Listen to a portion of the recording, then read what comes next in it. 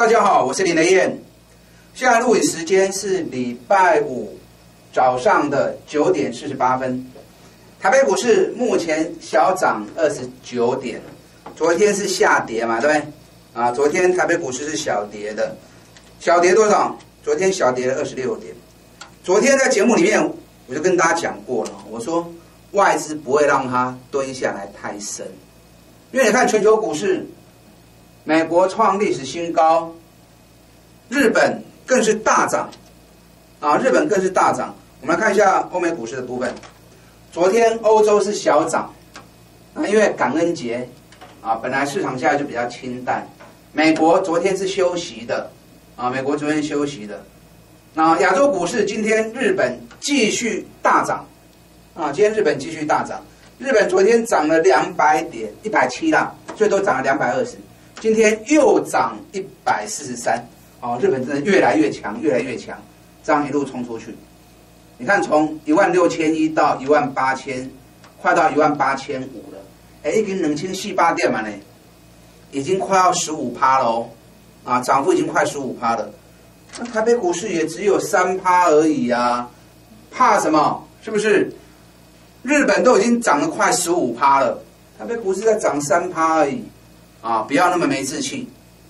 果然，今天台北股市哎上来了，可是今天有一个问题啊，今天台北股市虽然涨，可是你不能忽略一个问题，就是感恩节。感恩节外资法人他们应该也是休假，所以市场会来的比较低迷一些。所以看今天大盘的成交量，今天大盘成交量预估量只有五百八十七亿而已。那加上今天的盘面里面，很明显的。银行股很强，啊，旺旺宝已经连续涨两三天了。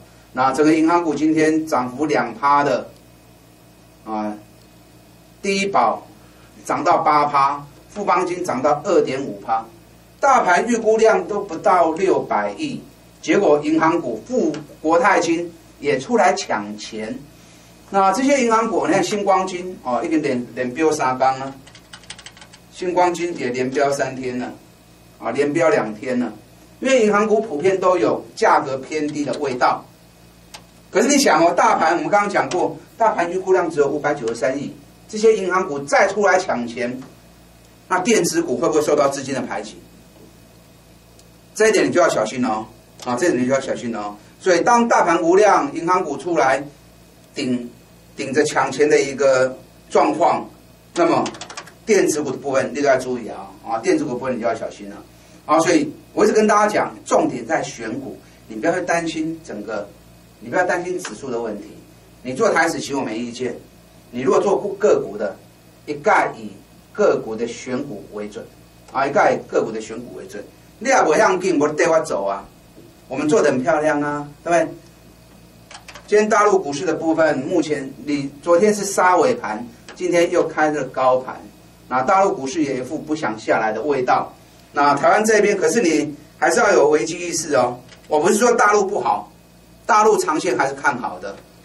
可是因为指标已经在高档，上海上证的指标跟深圳的指标全部在高档，哦，所以深圳就比较弱，目前跌零点二八。所以危机意识还是要有，啊，所以不要去做过度的追高，有下来我们再多买，OK，没问题。今天沪深二 X 啊又创新高，指标也在高档啊，所以我们十一点八五买上来的啦，我是无所谓啦啊，只是你们在追的时候不要过度的追高。我昨天已经先卖掉一半，我一半捞一半，感情它不会爽，有下来再接就好了啊，这是策略上的一个运用啊，提供给大家参考。那电子股重点就在选股，你看我们的股票五四六九汉语博德，外资昨天持续加嘛。啊，可是指标高了，我也不建议你去追。我也给你探不的趴。六一七六的瑞仪，昨天压回了四趴，我是不是跟大家讲，压回是给你机会？你刚刚有不？我们昨天五七五六一样在加嘛，今天哎上来了五十八了，那昨天买是不是很漂亮？对，昨天买是不是很漂亮？啊，所以你跟着我做，你就能够放心啊，跟着我做，你就能够放心。包含二九一五。润泰拳，哎，今天继续涨，已经五十八点四了。你看我们五十七五啊，我们五十一还在加嘛？我们真正成本是在四十二点四，一根碳杀的龟趴，我们连五十一都还在加嘛？继续喷出，啊，继续喷出。润泰拳五路财神第二档，有没有看到五路财神第二档？我不是没告诉你哦。上礼拜有来听讲座的，我也告诉你了。礼拜一、礼拜二连续两天送资料，我也告诉你了。你看，你都有完整，你都有很好的机会。今天是礼拜五嘛，对？礼拜四、礼拜三、礼拜礼拜一、礼拜一送资料在这里，连续两天送资料之后喷出去啊。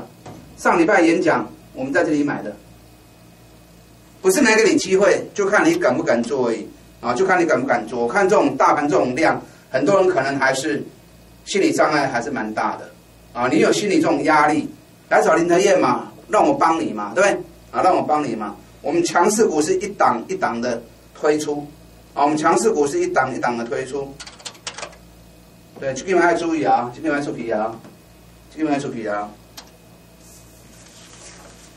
我们今天来谈一档哈，今天强方出去，我们来谈联军三四五零的联军。哎，联军今天也大涨了。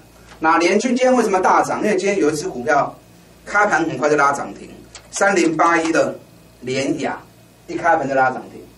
那最近大盘有那种在拉跌升低价的股票，尤其跌很深的，你说三四零六玉金光有没有？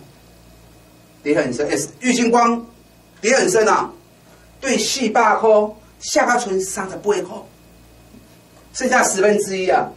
有没四百一，剩下三十八，是不是剩下十分之一而已？剩下十分之一，然后财报发布出来，第三季转亏为盈。你看近几个撩啊呢，每季都赔个四三块四块的，第三季转亏为盈，马上市场就下去抢了。所以最近有那种拉跌升股票很明显的一个味道。那三零八一联雅哦，这也是跌超深的。从六百块跌到剩两百块，剩下三分之一而已。那把下个存能霸，那当然业绩衰退没办法，股票市场就是这么现实。你看业绩衰退，哦，这个比去年同期衰退了五成，所以整个获利也是大失血。从一季赚六块降到剩一季剩赚两块钱。那今年前三季赚了十块钱，跟去年赚了十四块，啊，今年是差了很多。可是昨天在法说会上面，公司派特别谈到，光通讯的订单开始回流了，第四季会有比较好的成绩。哎，公司派一讲话之后，马上今天就强了。所以我说哦，这个市场不敢做的人还是不敢做，敢做已经在场交易的人其实是很积极的。你从几档股票身上就可以看得出来，对其实是很积极的。所以联雅一拉涨停之后，当然我们不会去买联雅这么贵的股票。光通讯联雅下游的封装厂，啊，光通讯的封装厂哪一档？就是三四五零的联军，联军负责下游的封装。当上游订单开始大失血的时候，哎，联军的订单完全不受影响。今年还是两成的成长率，今年的获利还是很有看头。前三季还是已经已经到了八块钱的获利了。去年一股赚十二块钱，今年还是能够维持在高峰期。当然，股价也跟着一起被压低，从一百九压回到一百一，啊，压回到一百零三。那连雅都动了，联军单金也跟着动了，对，联军今天单也跟着动了，一开盘就开始动了。其实我们会员在前两天一一三一一零已经开始布局了。我的习惯本来就是在行情还没涨之前，专找最赚钱的公司去做低档的布局。我们 VIP 会员前两天一一三跟一零已经布局了，啊，今天涨到一一八，我觉得这只是开始而已，啊，因为有联雅的带动，这个底部跌一百九跌到一百一，现在双底已经打出来了，这高票都会开始叮当呀，也是一档底部的好股票，所以今天在强棒出击的部分，提供给大家三四五零联军，喜欢做高价股的人啊，你可以锁定来做注意。那还有哪些股票？剩下最后两个月。就要过年了，能够涨个五十趴的。礼拜六两场讲座，林德燕邀请你来听五十标股俱乐部啊，五十标股俱乐部，礼拜六下午两点中立，晚上七点台北，报名专线零二二三二一九九三三零二二三二一九九三三，欢迎大家进来预约报名，我们下午见。